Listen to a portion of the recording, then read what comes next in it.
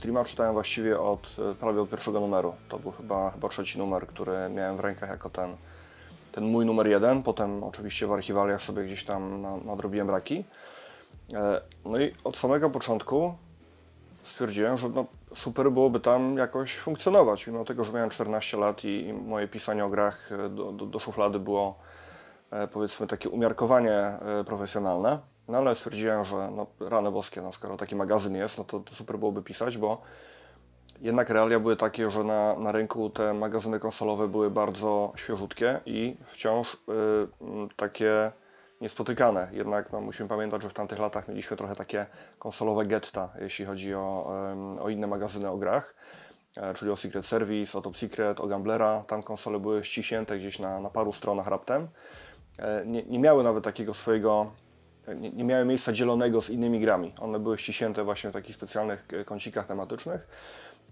No ale to, to było trochę mało, tak? Jak się miało konsole i chciało się na te konsole grać i, i te gry sobie sprawdzać, no to fajnie było mieć ten, ten dostęp większy.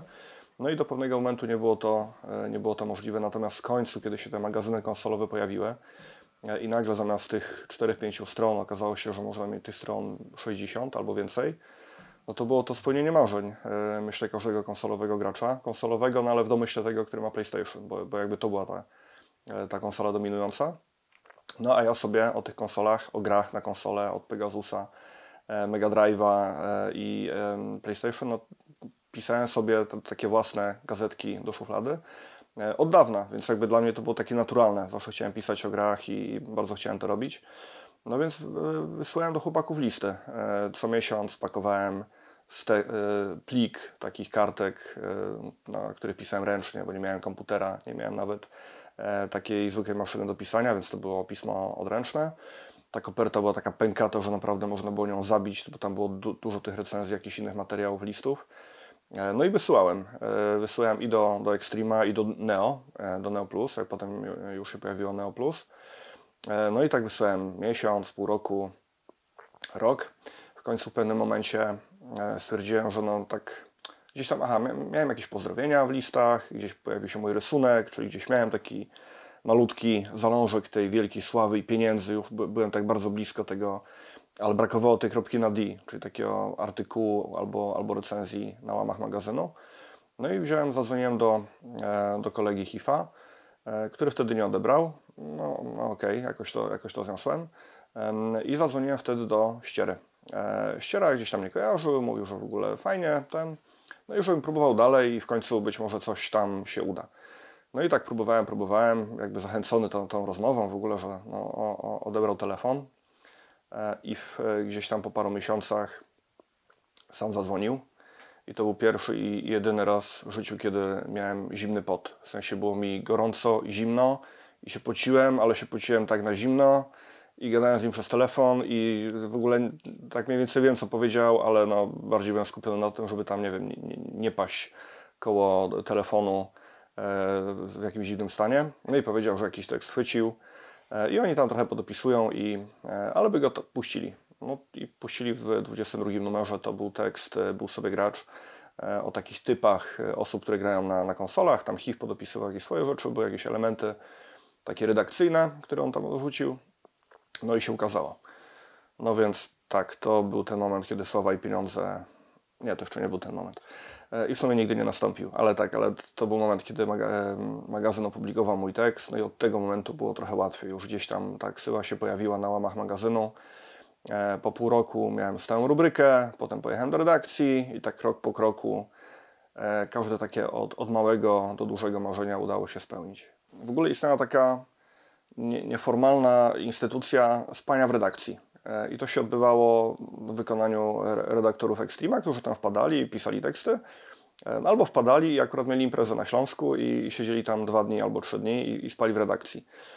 No i jakby, no jak się ma te 15 lat, no to, to, to tak potwornie imponują, że sobie jedziesz gdzieś i tam zostajesz na dwa dni. W ogóle jest ta atmosfera postawania wielkiego magazynu o, o grach i o konsolach. No i bardzo chciałem w tym brać udział, więc jak zacząłem jeździć do redakcji, no to, to zostawałem na, na weekend. Jechałem w piątek rano e, z Poznania, zostawałem do niedzieli i no i jakby były to dwa dni. No ale jak były ferie, to jechałem na tydzień, no bo co miałem robić w domu, skoro mogłem sobie siedzieć w redakcji, grać w gry, pisać teksty i się świetnie bawić.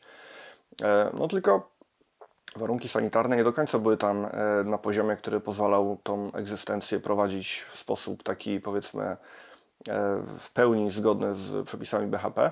Dlatego jeśli mm, nachodziła kogoś ochota albo nawet konieczność, aby e, trochę o tą higienę zadbać, no to nie bardzo miał tam jakieś opcje. Natomiast była łazienka, ona była taka trochę zakładowa, bo w sensie zakładowa mam na myśli, że wielka, wielkie pomieszczenie z takimi małymi kafelkami i 20 umywalek dookoła, tak jakby tam wchodził cały, cała brygada e, po, nie wiem, po, po wyjściu z kopalni. E, no i cóż, no co mi pozostawało? No musiałem się jakoś w tej umywalce kąpać, bo nie było tam prysznica. Nie chciałem też nikomu sprawiać problemu, tam się ładować na chatę, chociaż koledzy proponowali, ale ja się tak wstydziłem, bo, no bo jednak było to jakieś no, tak do kolegi z, z Greda jechać, no to mi się wydawało to takie dziwne. E, no więc e, tak, no, problemem były okna w tej łazience, które wychodziły na, na, na jakieś inne budynki, inne bloki, no ale starałem się nie zadawać pytań i nie myśleć o tym za dużo, po prostu kąpałem się w tej łazience, miałem ze sobą ręcznik e, i w ten sposób gdzieś tam te podstawowe warunki higieny były zachowane. Redakcja była tak bardzo otwarta. Tam naprawdę nie był problem, żeby wejść do budynku i nie było większego problemu, żeby wejść do, do redakcji. E, i sobie tam posiedzieć z nami, e, pogadać, pograć jakieś gry. Jakoś mam wrażenie, że nikomu to do, do pewnego momentu nie przeszkadzało. E, a potem, kiedy to no być może gdzieś tam wpływało na, na pracę, no to pojawił się apel, żeby jednak no, nie pojawiać się tak bez niczego, tylko no, przynieść jakiś prezent w postaci e, napojów. E, nie mówmy jakich, ale wiadomo jakich.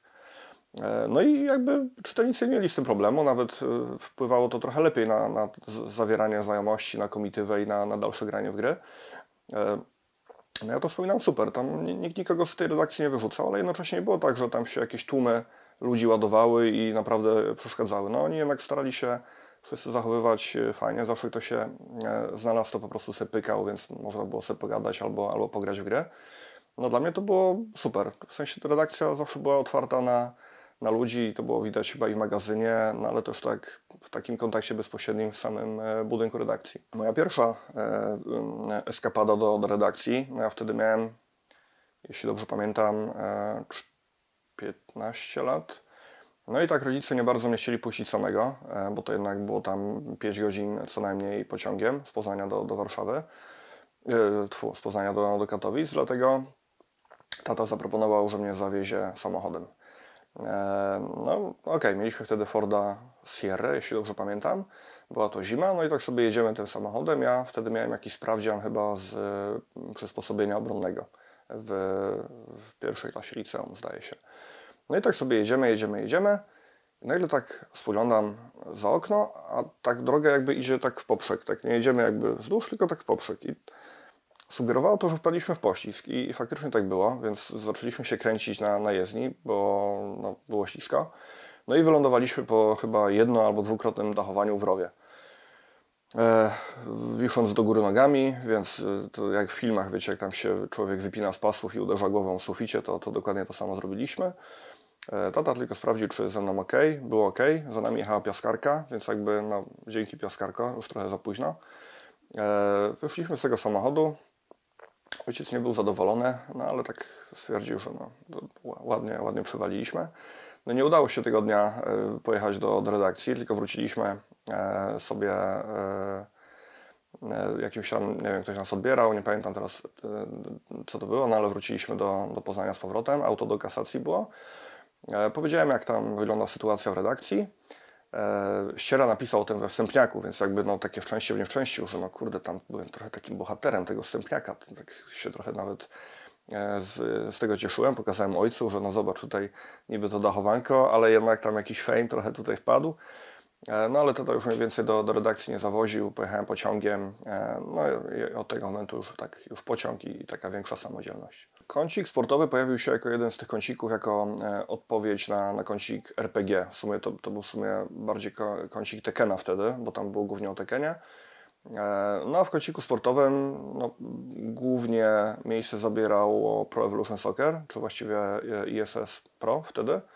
E, no ale był Tony Hawk, który był grą sportową. No, było nie było jazda na, na deskorolce.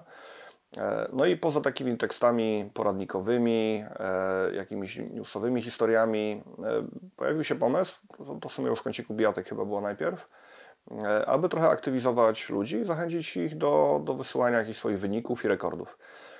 A jako, że no, był pewien problem typu, no, jak to zrobić, tak? No, zrobienie zdjęcia, no okej, okay, no ale to jednak trudno udowodnić, że Twój wynik w tym hołku, który masz zarejestrowany na, na zdjęciu, to na pewno Twój wynik, a nie, że nie zrobiłeś zdjęcia, nie wiem, koledze albo coś. Dlatego y, prosiliśmy o wysyłanie kaset wideo, na których był zarejestrowany albo cały przejazd, albo potem jak mieliśmy e, konkursy na bramkę miesiąca w ISS-ie, no to ludzie wysyłali na kasecie e, wideo tą bramkę, którą sobie tam zdobyli i, e, i nagrali. No i ten biedny listonosz, to nie dość, że nam przynosił te setki listów miesięcznie, czy więcej, no to teraz musiał targać dodatkowo kasety wideo, których też było całkiem sporo, bo, bo nawet kilkadziesiąt do jednego kącika na miesiąc. No a potem e, osoba, która prowadziła dany kącik, tak jak ja w przypadku kącika sportowego, e, osoba siadała i oglądała te kasety, no i wybierała tą bramkę miesiąca albo najlepszy wynik w Tolem Hołku e, i trzeba było pozgrywać obrazki, czy jakieś tam takie kadry pojedyncze z takiego filmu. E, żeby dodać do, e, do, do kącika i tam opisać tą bramkę. No bo jakby to wideo już no, nie, nie bardzo było jak dodać. Nie mieliśmy wtedy oczywiście YouTube'a ani no, jakby kręcenie filmów, gdzieś tam publikowanie ich w internecie nie było takie proste. No ale w formie takich kadrów, gdzie pojawił się opis, jak ta bramka została zdobyta, no wybieraliśmy sobie tą bramkę miesiąca, zwycięzca dostawał kartę pamięci i teraz nie pamiętam, czy my odsyłaliśmy te, te kasety, E, czy tam była jakaś akcja, żeby dołączyć znaczek albo kopertę, nie pamiętam. No ale, ale trochę tych, tych kaset było. No, ja robiłem korektę e, dobre chyba dwa lata w Extremie. E, no i to, to było coś super. E, w sensie bardzo mi się to podobało i, i to chciałem robić. E, dostałem to w spadku po, po HIF-ie, który, który wtedy chyba nie wiem, czy już tego nie chciał robić, czy miał dość. No i ja szybko zrozumiałem, z jakiego powodu on już tego nie chce robić. I jakby ten cały urok tego, te, autorów Extrema uderzył mnie z pełną mocą, bo każdy miał jakby trochę własne zasady pisowni języka polskiego.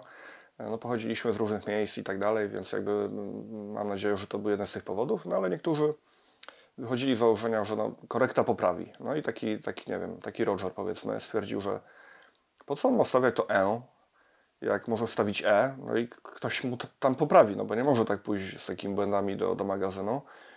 E, no i ktoś siedział i poprawiał. No, no byłem to ja, więc e, trochę, trochę to zajęło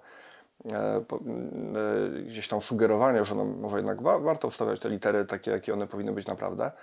E, więc z niektórymi było sporo problemów.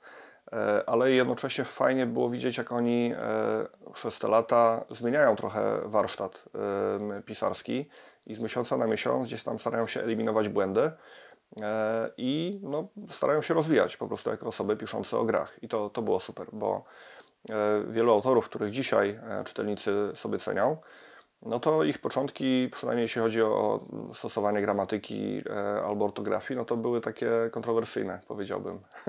To w sumie e, trochę się wiąże z moim odejściem z Extrema e, i to był rok 2009-2010. E, pojawił się temat robienia portalu o grach, który no, gdzieś tam od samego, prawie od samego początku dostał nazwę pp.pl, którego miałem być redaktorem naczelnym. Więc braliśmy sobie, brałem udział w, w pracach nad tym, myśleliśmy co tam zrobić, co tam napisać, jakie mamy mieć działy, jak to ma w ogóle wyglądać. To był tak, wydaje mi się, ostatni moment, kiedy magazyn o grach, który chciał być w internecie, powinien to zrobić, żeby no, nie zostać w tyle. E, my, wydaje mi się, i tak byliśmy troszkę w tyle i ta strona internetowa e, magazynu no, była trochę przeterminowana. Na PPE miało być taką odpowiedzią na, na internet. E, to były czasy, kiedy serwisy nie zarabiały jeszcze tyle pieniędzy, co obecnie. E, co wynikało z tego, że no i e, firmy, które reklamują, e, reklamowały się wtedy bardziej widziały jednak pożytek w magazynie o grach, który dociera do iluś tam tysięcy fanów niż, do, niż reklama displayowa w internecie, która no, no jakoś wtedy to mam wrażenie nie, nie było takim, takim atutem i jednak bardziej chodziło o, o reklamę prasową. E, no i pracowaliśmy nad tym PPE, tam pojawiały się tematy, które no, czytelnicy na pewno dzisiaj znają, takie jak te, te bateryjki, które pokazują atrakcyjność e, newsa, one się gdzieś tam wtedy narodziły. Tylko prace nad, nad serwisem bardzo długo trwały i tak się przeciągały, przeciągały. Ja w pewnym momencie straciłem cierpliwość, bo byliśmy tam już spóźnieni e, dobrych parę miesięcy. Ja już miałem takie, e, takie poczucie, że no, chciałbym już zrobić coś nowego. Po prostu wiedziałem, że zbliża się moment, kiedy no, jednak po, po tylu latach w Extremie e, chciałbym porobić albo coś nowego w ramach Extrema, tak jak PPE, e, no albo po prostu troszkę odciąć tą tempem powinę i, i porobić coś zupełnie innego. E, przeprowadziłem się akurat wtedy do Warszawy, więc jakby te, te możliwości E, pracy w innych miejscach się pojawiły. No i e, pojawiła się Gamezilla jako, jako opcja, czyli serwis, który był wtedy względnie świeży e, i byłem na rozmowie o, o podjęcie pracy w charakterze redaktora naczelnego tam. No i jakby widząc, że ten temat PP jakoś tak no, nie może ruszyć z kopyta i bardzo długo trwa, zdecydowałem się, że jednak ok, to jest ten moment, kiedy trzeba trochę porzucić papier, pójść w internet, E, bardziej chodziło o to, żeby nie, nie zostać gdzieś tam w, w miejscu, gdzie, no, gdzie już nie ma perspektywy, w sensie gdzie już nie ma nic do roboty. Miałem wrażenie, że na tym etapie już zrealizowałem sobie w Extremie absolutnie każde marzenie, które mogłem sobie zrealizować, czyli jeśli to na początku była króciutka recenzja w Extremie, a potem recenzja na stronę, a potem na pięć stron, a potem wyjazd na targi do Londynu, a potem wyjazd na targi e, do, do Los Angeles, do Las Vegas, do, i w inne różne miejsca. E, no, to wszystko jakby już było, było za mną i byłem super zadowolony i szczęśliwy, że to się udało. No ale jednak gdzieś tam zaszło w głowie, że warto robić coś, żeby się rozwijać i czułem, że w Extremie już jakby nie ma tego kolejnego pięterka nade mną, tego kolejnego pułapu do, do pokonania. E, no i, i gdzieś tak się stało, że poszedłem do, do e, zacząłem prowadzić serwis o grach. E, Extreme gdzieś tam został. Nie, nie pisałem tam przez jakiś czas w ogóle nic. No i było to trudne. Nie ukrywam, że te, te pierwsze miesiące, jak, jak brałem sobie Extrema już tak beze mnie, a wcześniej tam no, bywała spora część numeru napisana właśnie y, przeze mnie, no to sobie tak kartkuję tego Extrema i tak, taka, takie wiesz, takie rozstanie z kobietą, no, że tutaj tak wspominasz, no, oglądasz co tam u niej, jest ci trochę smutno i tak trochę ją sobie stalkujesz, oglądasz co ona tam, co u niej. I właśnie tak miałem z magazynem nie oglądałem i widziałem, że ktoś tam robi relacje z jakiegoś fajnego wyjazdu, z jakiejś fajnej gry i mówię sobie, no rany, no to mogłem być ja, mogłem ja tam jechać. E, no więc tak, to, to było taki e, zdrywanie strupa po, po rozstaniu. E, ale jakby nigdy nie, nie mieliśmy tam żadnej zadry, żadnego problemu. Myślę, że rozstaliśmy się bardzo kulturalnie, a poza tym bardzo szybko wróciłem częściowo do pisania recenzji, ale też do, potem do, do felietonu w Extremie. Więc jakby no ten, ten mój matecznik e, nigdy nie został gdzieś tam daleko z tyłu. E, daleko z tyłu, zawsze czułem się związany z Extremem i tak zostało do dzisiaj. Tak, w, w zawsze mieliśmy takie e, podziały regionalne i, i, mam wrażenie, że te podziały regionalne były takie, no, miały jakiś wspólny mianownik. I tak jak mieliśmy Wrocław, który był imprezowy i spóźniał teksty, Potem był Poznań, e, który reprezentowałem między innymi ja, który był bardzo e, poukładany, punktualny, nigdy nie spóźniał tekstów, bo za spóźnienia tekstów była kara na wierzchówce, więc Poznań, wiadomo, centusie no, nie, nie chciały, żeby te, te pieniądze gdzieś tam ulatywały bokiem. E, no i potem w pewnym momencie się pojawiła trójka Drombo, czyli Rozbo, Soku i Roger z Warszawy. I oni jakby, e, no wiadomo, Warszawa takie młode miasto, próbowało naśladować ten Poznań, więc oni też byli bardzo tacy niespóźniający tekstów, poukładani i, i, i pełni pomysłów też. Oni wydaje mi się bardzo mocno e, rozkręcili publicystykę e, w Extremie w odpowiednim momencie. No i, właśnie, oni się pojawili w odpowiednim momencie. Wydawało, wydaje mi się, że wtedy magazyn potrzebował tej, tej świeżej krwi. Tym bardziej jak on już był w, w Warszawie, jednak no, wiele tych imprez, eventów odbywało się właśnie tam. Oni byli na miejscu i myślę, że robili dobrą robotę. Wydaje mi się, że jakiekolwiek spotkanie redakcyjne e, i kiedyś, i dzisiaj, to jest po prostu taka totalna beztroska i, e, i wrażenie, że wracamy do, do czegoś, co nas gdzieś tam wychowało i, i ukształtowało. I w jakimkolwiek charakterze się teraz nie spotykamy i, i po ilu latach i w jakim gronie, no to za każdym razem jest super. Wydaje mi się, że Mamy wrażenie, że gdzieś przez te lata została wykonana fajna robota i, i trochę jesteśmy z tego dumni e, i się z tego cieszymy. E, I to, że robiliśmy razem albo robimy razem magazyn, e, jakby odsuwało jakiekolwiek inne niesnaski albo potencjalne zadry gdzieś tam daleko w tło. Więc my nigdy nie mieliśmy jakichś problemów na tle kibicowskim, chociaż wielu z nas kibicuje różnym klubom mniej lub bardziej hardkorowo, no i tam lubimy sobie wbijać gdzieś tam jakieś szpile i, i złośliwości. No ale, to, ale dalej rozumiemy, tak, że to, to jest dalej jeden wózek, jedziemy na jednym wózku i nigdy to nie było jakimś problemem. Tak samo jeśli chodzi o słuchanie różnych gatunków muzyki, no to tam jedna grupa taka bardziej rockowa pośmiewała się z tej grupy bardziej techniarskiej. E, w sensie zawsze to miało dużo uroku, nigdy nie było to jakieś e, złośliwe, wydaje mi się, że nikt się nie obrażał, e, wszystko pozostawało w takim może nie do końca w, w ramach dobrego smaku, bo niekiedy ten smak nie był dobry, ale pozostawało w, to na takim poziomie, że nikt nie miał do nikogo pretensji. Wydawanie papierowych magazynów dzisiaj no to jest jakaś forma takiego dziennikarskiego heroizmu, bo no, ma, mało kto ma ochotę kupować. E, myślę, że wiele osób ma ochotę czytać, ale jednak no, po pierwsze nie ma kiosku na, na każdym rogu, jak, jak to było kiedyś, a nawet jeśli jest kiosk, to być może tam nie ma e, Extrema albo Pixela, bo akurat w tym kiosku, w tej sieci e, nie ma tych magazynów. Więc nie, nie jest tak wcale łatwo jakby mieć dostęp do, do magazynów, tak jak się miało kiedyś. Kiedyś po prostu wychodziło się na dwór, kioski były wszędzie, kupowało się magazyn i tyle.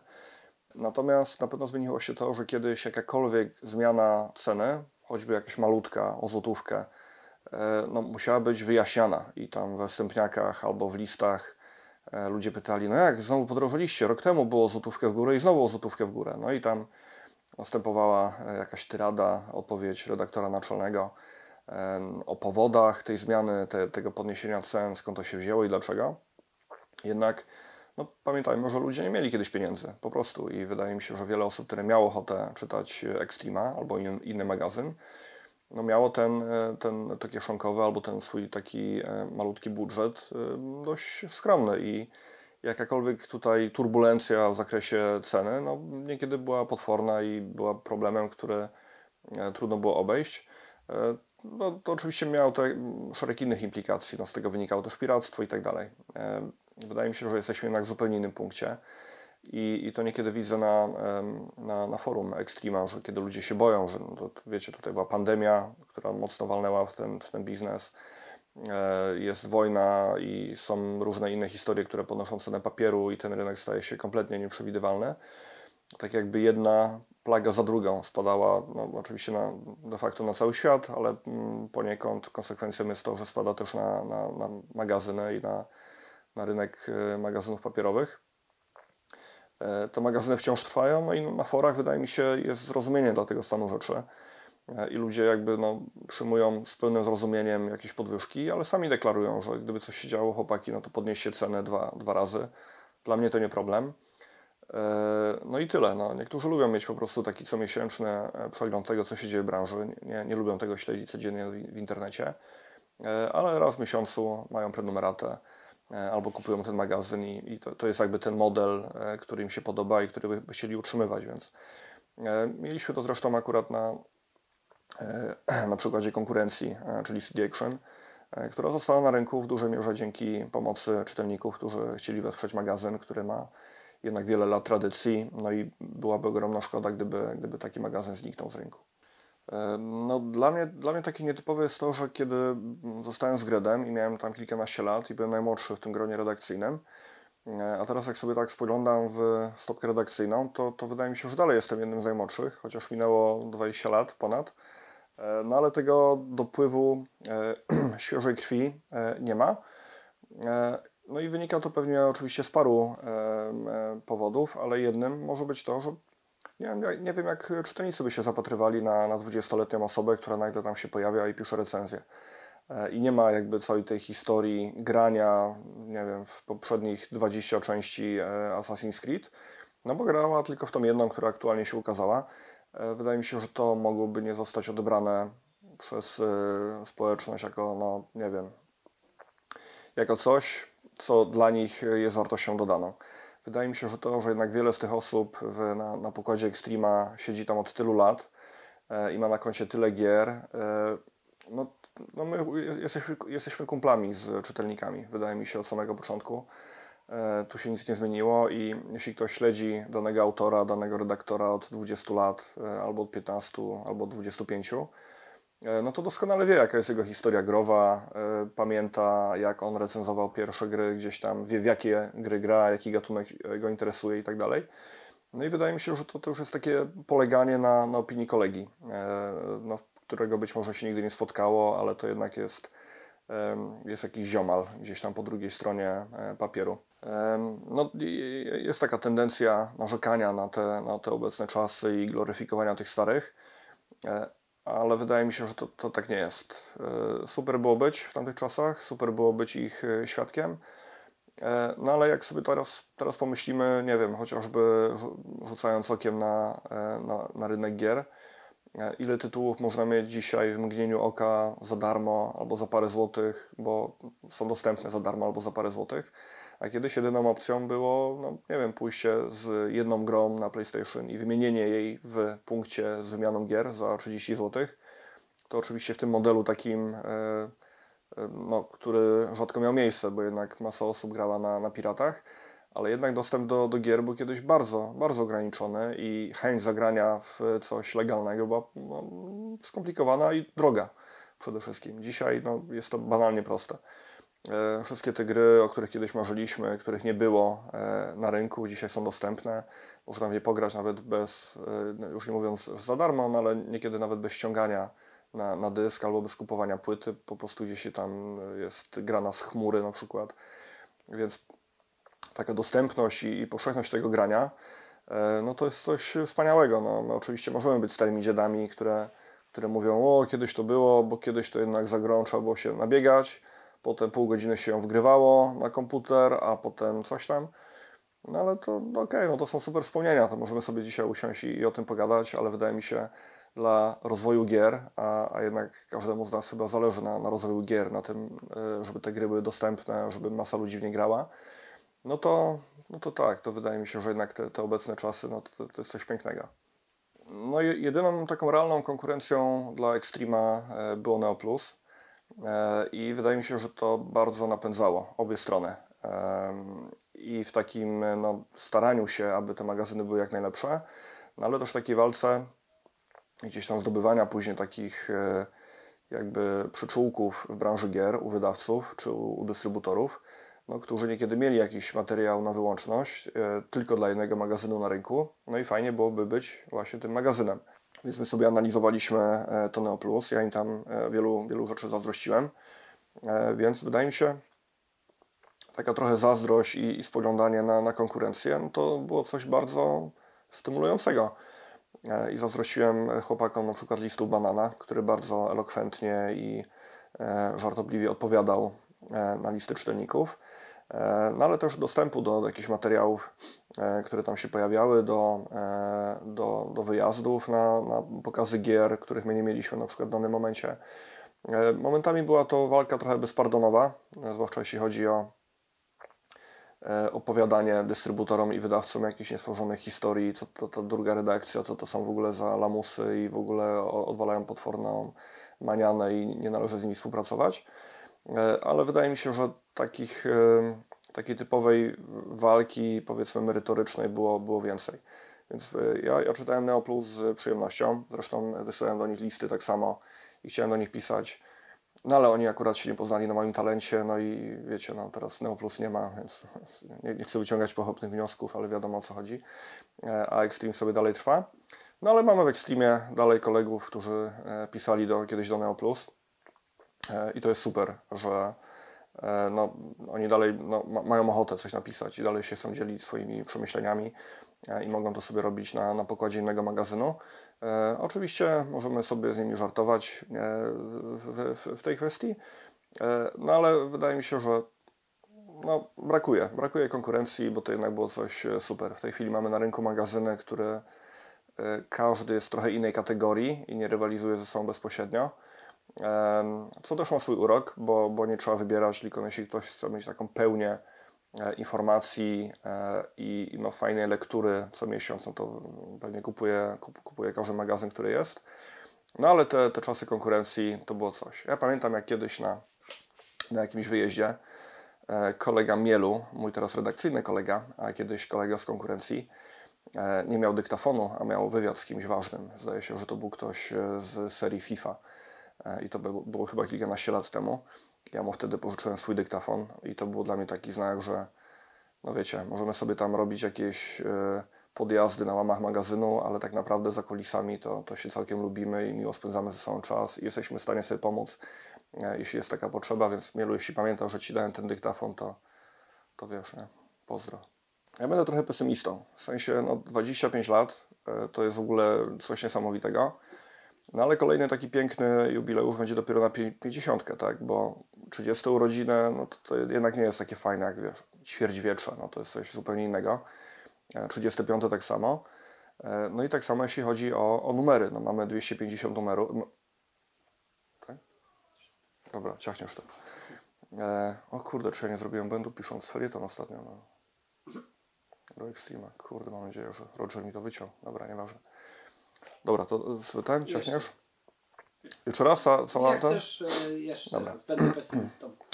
E, no ja będę trochę pesymistą, bo wydaje mi się, że nigdy nie będzie takiej... Teraz moja Proszę. E, ja będę trochę pesymistą, niestety.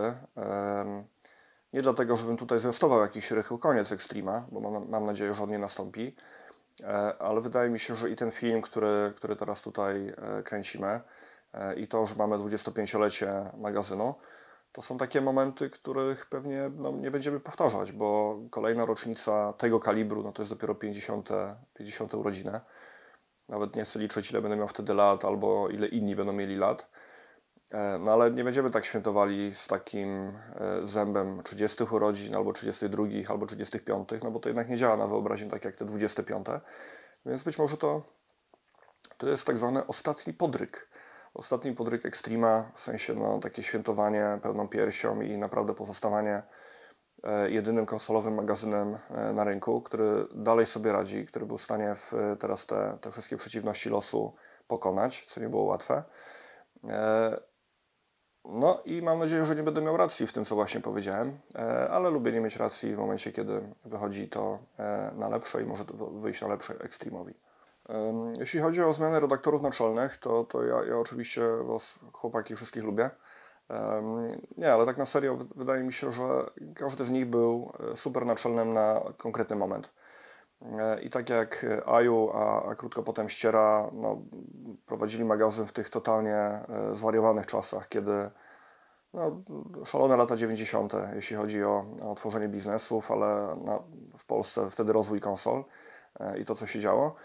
E, to wydaje mi się, że cała, cała ta magia magazynu no, jednak wtedy brała się głównie, głównie od ściery i od tego, od jego pomysłów, e, ale i od tego, że potrafił na, na pokład zrekrutować właściwe osoby, które no, potrafiły się w tej magii odnaleźć, e, co nie było łatwe. A wydaje mi się, że potrafił też jak mało kto uwypuklić takie elementy, cechy charakteru, które stawały się potem znakiem rozpoznawczym danego autora. E, czy to jeśli chodzi o, o nie wiem, o, o, styl, czy jeśli chodzi o, o, charakter, o jakieś zajęcie dodatkowe, o jakieś powiedzonka, wszelkie takie e, gęby, które można było danemu redaktorowi przyprawić. I to moim zdaniem e, było z wielkim pożytkiem dla magazynu, bo ludzie mieli się z kim utożsamiać, wiedzieli kogo mogą lubić, a kogo, nie wiem, no, z, jakiś, z jakiegoś powodu nie lubić. E, ale to było jakieś. To, to nie była grupa anonimowych osób, która pisała każda tak samo, tylko po paru numerach myślę, że każdy miał swoich e, faworytów, którym ufał i, i których śledził. E, jak się pojawił Grzesiek jako redaktor naczelny, no to wydaje mi się, to był, to był dobry moment, bo wtedy ta branża konsolowa, w Polsce przynajmniej, mocno się już sprofesjonalizowała. To już były i polskie oddziały zachodnich firm, E, i to był prężny Microsoft i prężne Sony e, i te firmy chciały zdecydowanie działać. A wydaje mi się, że jednak w takim bardziej profesjonalnym, poukładanym, mniej e, porąbanym środowisku łatwiej im się było odnaleźć. Łatwiej było zrozumieć im wtedy język danego magazynu. Mm, nie musieli już raportować swoim zachodnim szefom, że no słuchajcie, to jest jakiś magazyn, ale oni tam, nie wiem, no robią sobie zdjęcie gołych tyłków na, na imprezie i pokazują jakieś dziwne rzeczy, rozbierają się do, do gaci, malują markerami i, i udają zapaśników. No tylko no, to już był normalny, profesjonalny magazyn, który miał normalną otoczkę biznesową. E, Wtedy redakcja była w Warszawie, więc w ogóle no, sprzyjało to e, trochę robieniu tutaj interesów albo takich nie, mniej lub bardziej form- formalnych rozmów. E, No a potem pojawił się, pojawił się Roger, który wydaje mi się łączył te dwie perspektywy, czyli takiego zwariowanego wychowanka Extrema, e, no ale gościa, który też rozumie jak działa ta marketingowo-biznesowa e, otoczka e, rynku, E, więc wydaje mi się, że fajnie się w tym odnajduje. Więc no tak, no, ja lu- lubię każdego z sopaków, z niektórymi się widzę częściej, z niektórymi rzadziej, ale wynika to głównie z tego, gdzie mieszkamy teraz i, i co robimy. No ale jak ostatnio na nagraniu tego filmu na przykład byliśmy na, na Śląsku i spotkaliśmy się ze ścierą, no to wiecie, no to po prostu jakby te, tych lat między ostatnim spotkaniem w ogóle nie było, bo no, pe- pewne rzeczy gdzieś tam wydaje mi się się nie zmieniają i jak się widzimy, to po prostu jest fajnie. Inaczej, nikomu nie życzę takich czytelników. Mamy najlepszych czytelników na świecie, bo